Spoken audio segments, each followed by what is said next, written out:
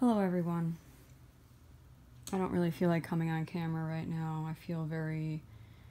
I'm very much in a withdrawn type of mood right now. I feel like I'm in a in a cocoon of transformation right now. Um, but I asked the Lord if He wanted me to come on here and just share the insight, the revelation that He shared with me a couple nights ago.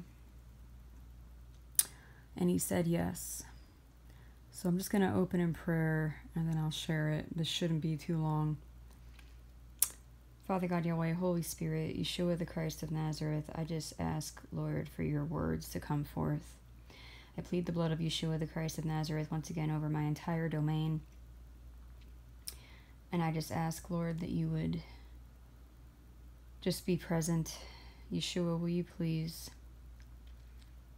fill me afresh, overflowing with your Holy Spirit, with your words. In the name of Yeshua, the Christ of Nazareth, I ask, will you please put a coal over my tongue and prevent me from saying anything that's not true and not coming from you, God? I know pretty much the point that I want to make, but if there's other points that you want to add or whatever you you want to add, Lord, this is your channel, this is your ministry. Um, I welcome and request um, any revelation that you want to bring as I'm speaking. Let it be your words, Lord, and, and, and not my own, um, instead of my own. And I just, in the name of Yeshua, the Christ of Nazareth, I release the conviction and the revelation and the comprehension of the Holy Spirit of Yeshua, the Christ of Nazareth, to everyone and, and anyone out there listening. I ask, Lord, that you would have this video, this this audio, this insight reach those who need it, that you would override any shadow banning and censorship, Lord, and just get this revelation out to those who need it. I ask for this in the name of Yeshua, the Christ of Nazareth. Amen. Whew. Okay, so um, I'm gonna try to try to just get right to it because I know I don't like it when people go on and on um, without getting to the point. So, um, I guess I'll give a little bit of like background context. But there's there's a man, and I met this man when I was 17 years old, and uh, I'm now 40 it's been about 23 years, give or take. And this man and I were never in an official, committed, intimate, romantic relationship. We spent time together quite a bit for a, for a chapter when I was 17. Um, you know, but we were never an official couple, and um, and unfortunately, this man never really opened up to me. Um, but over the years, this man and I seem to have reconnected. I believe it is now a total, like counting even the first time we entered each other's lives, all times total, I think it's about 12 times that we have entered each other's lives or if you want to not count the first time, you could say that we have reconnected 11 times over the last 23 or so years. And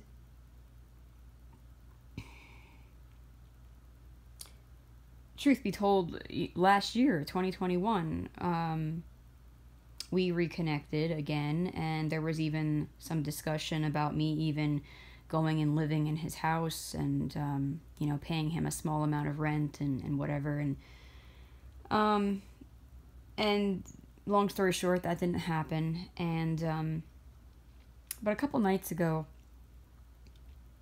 you know how the lord works god will use anything. I was watching a movie and the movie very much pulled on my heartstrings and i began to lament. I might get a little emotional. Um, I began to lament how in my life there has not been some you know one great love you know um the two men that i had the most significant relationship with, feelings for, you know, um, the Lord has revealed to me that one of them was fallen angel people, the other was Nephilim. Um, which is why the relationships ultimately and always just never went anywhere and but anyway um and caused me so much pain and depression and just sucked the life out of me um and i i don't even remember how i recalled this man from you know uh when i was 17 this man that i met when i was 17 but somehow he came into my thoughts and I began to ask the Lord about this man. And the Lord said, April, how many times, you know, like, do I have to show you the facts here? Like, look at how many times I brought you two back into communication. Has there been anyone else that you have reconnected with so many times?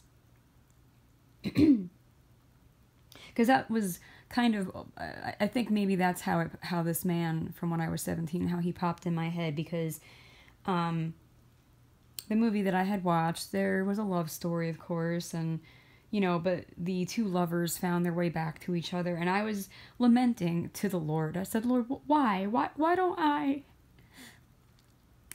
why don't I have someone that I at least you know come back to from time to time or something you know? That that's like good you know? That's like pure and and healthy and ordained by you you know? And and that's when he began to speak to me about this man that I met when I was 17 and he said look at all the times that you two have reconnected there were so many times there was one time I went, you know, back when I was still living in, in Jersey. That's where him and I both grew up and where we met. But there was one time I went to the boardwalk. I don't even remember why, but I, I walked through this restaurant on the boardwalk. And when I came out of the bathroom, the restroom, I be, if, if I'm recalling that memory correctly, I, am pretty sure he called my name. I didn't notice him. He noticed me. There he was, you know, just happenstance. We just bump into each other. There was so many times. Or like, you know, back in the days of like MySpace, you know, he signed on to MySpace and he found me and he contacted me and um, there was just so many times. There there was a time that we reconnected on LinkedIn and, and just just and then even last year he said that he typed in, he was looking for a, a particular topic, and one of my videos popped up. There was just so many times that the Lord had our paths cross, so to speak. That that God reopened doors to each other.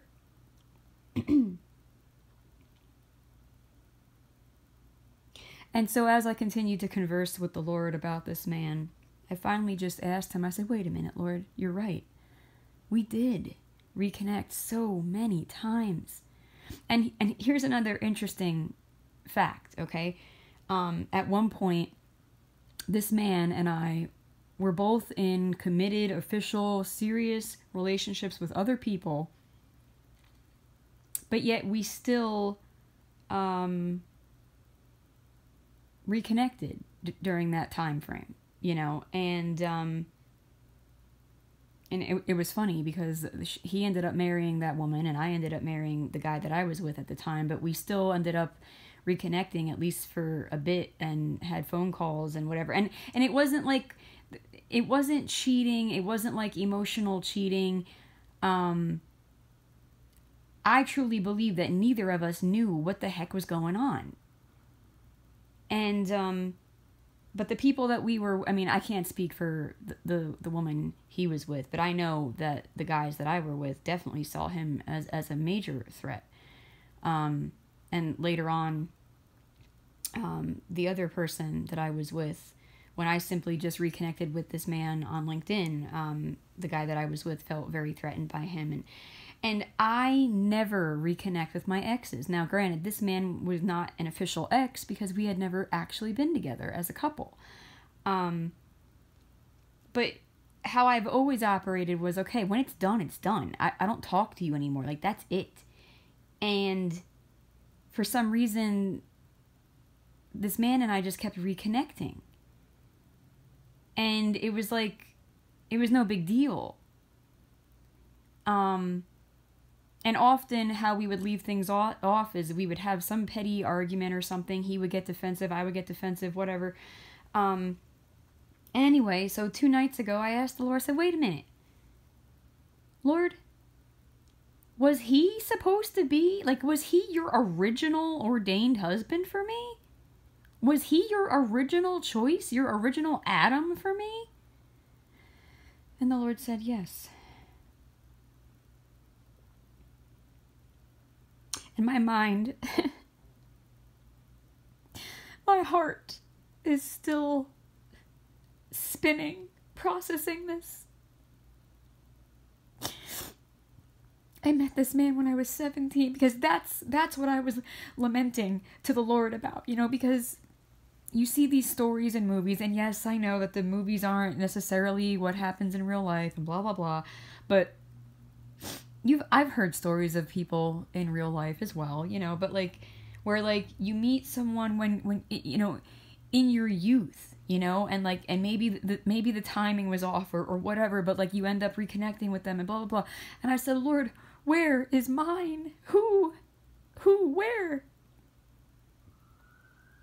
And he said, "It's this guy that you've reconnected with at so many times over the years." I said, You gotta be kidding me, Lord. It was right in front of my face the whole time.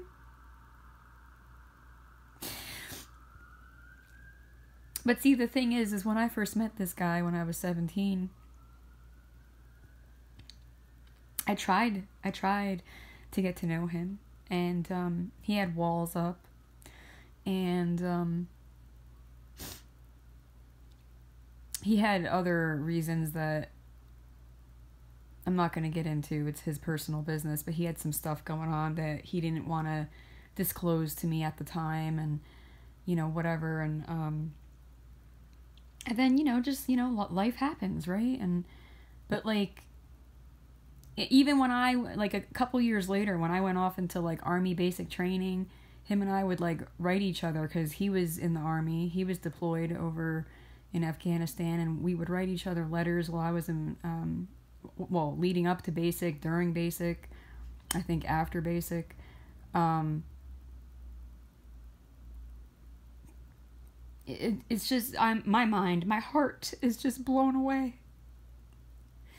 And uh, to think all the time that we wasted with other people, and um, like I said, I believe that God has revealed to me that most of the guys that I was with were just, you know, they weren't even his seed.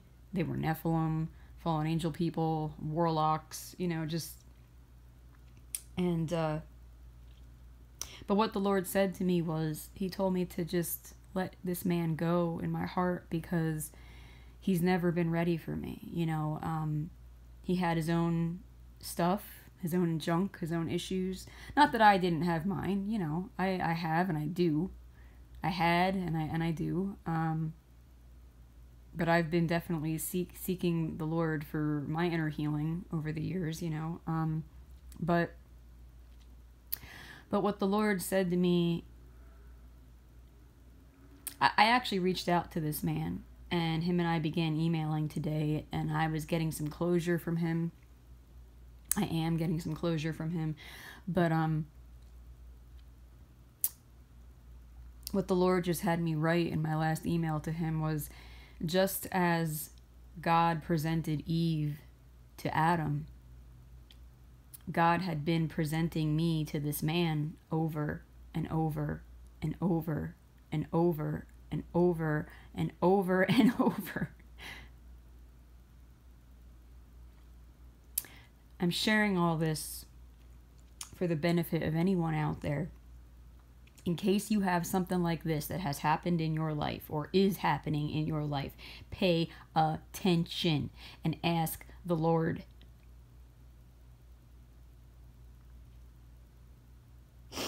Because you could be missing out on God's will for you. Now, sure, you might say, well, April, why can't you two come together now? Well, the Lord told me no. And that God said it was too late, and I said, okay, Lord, why, why is that? And, um, long story short, he told me that he has taken the swab, which the Lord has repeatedly confirmed to me is the mark of the you know what. And at this point, just because of how my life has transpired thus far, the Lord has appointed me to um, a very high, we'll just say very high things. And um, I think I've been realizing more and more how what exactly like uh like that dream I had back in 2020 of me like leading a protest in Washington D.C. You know th- things like that. You know, telling me that I have to go to Alaska. I just recently realized that he was telling me as early as 2000 what 15 or 16 16 I think that I'm called to go to South Africa I believe the Lord told me that I'll be going to South Africa sometime after Alaska. Now, I'm going to keep praying about these things and confirming these things, but these things uh, are quite scary to me.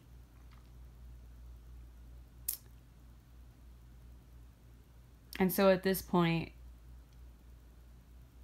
I have to continue on, and whoever is going to be joining me as a husband is going to have to be equally yoked, which goes across the board, period, anyway but I I know this is gonna I know I'm gonna get people criticizing and saying that I'm you know uh, full of myself or whatever, but I know the high things that the Lord has been revealing that He's calling me to do and be, and uh, my husband's gonna have to be equally yoked. He's gonna have to be on board. Um, for the things that I'm gonna have to be doing. Um, and so, anyway, it's just tragic to realize that God's original, his very first original ordained spouse for me, I met him when I was 17. That's why we kept reconnecting so many times.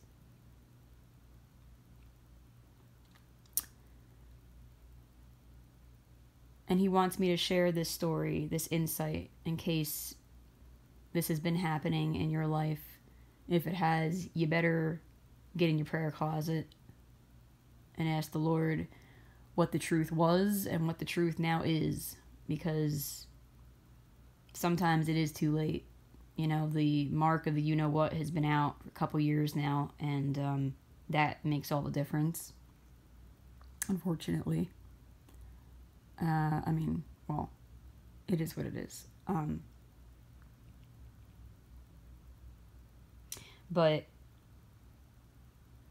if any of you have spent your life alone for the most part, like even when you've had a significant other, if you have still felt alone, you know that you weren't, you knew you weren't with the right person. You know what I mean? Like it may be because maybe you met the right person a while back, but because of their own brokenness, they rejected you or whatever, you know, things just didn't work out. But it doesn't mean that God didn't have someone for you. It doesn't mean that you didn't meet the right person.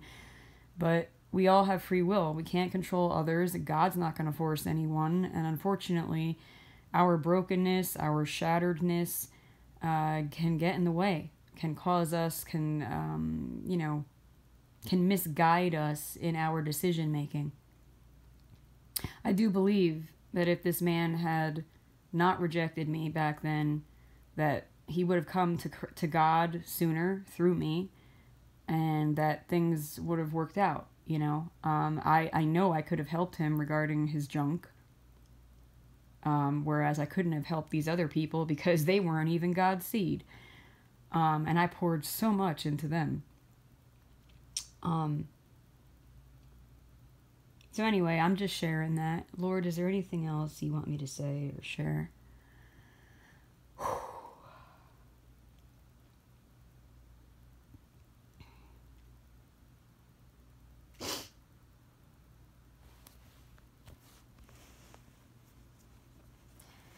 I think that's it.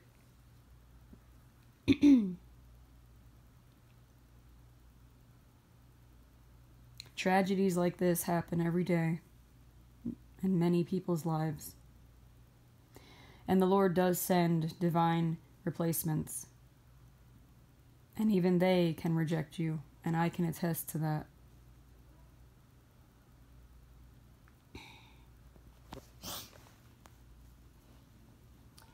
And you just have to keep your hand to the plow.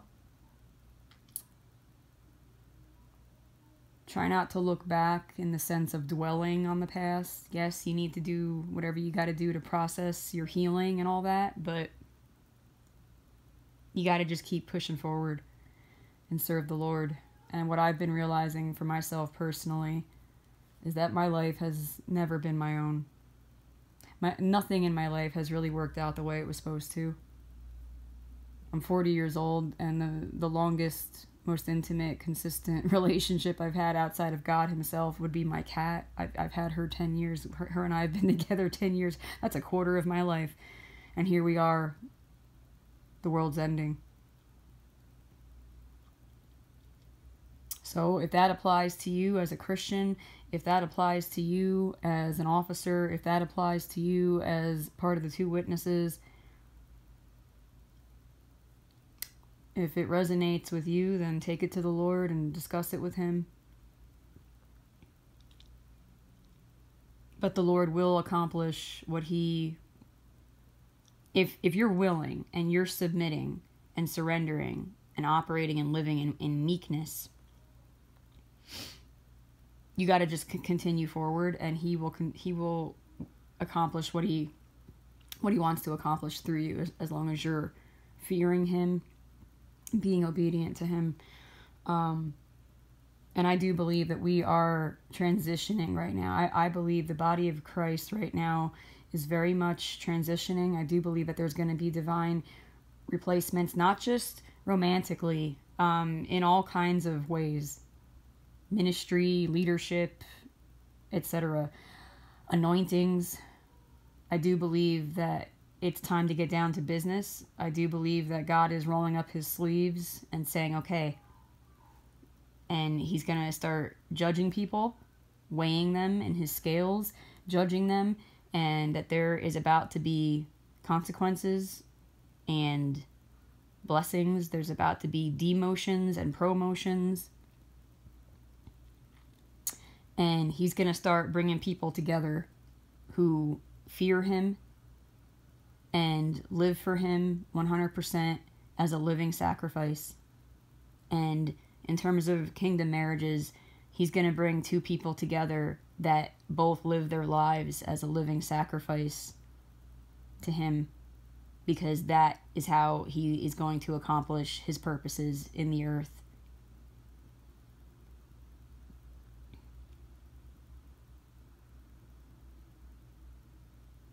I truly hope that this was edifying to at least one person out there. I bless you all in the mighty name of Yeshua, the Christ of Nazareth.